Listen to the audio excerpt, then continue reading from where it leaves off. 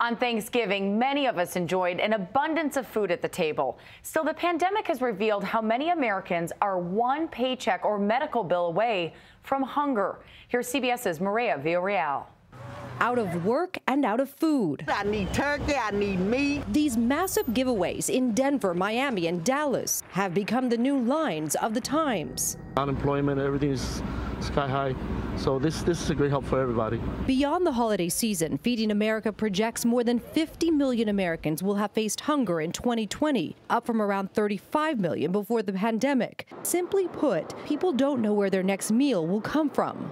The North Texas Food Bank's Erica Yeager says they're serving 10 million meals a month. That's 4 million more than this time last year. History tells us that we can expect to see this elevated need for at least the next two years. Schools like the Texans Can Academies are also helping hungry families.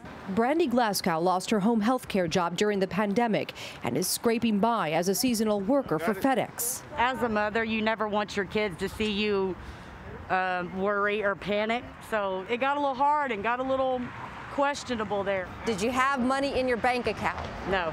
In Texas, more than 2 million kids are expected to go hungry this year.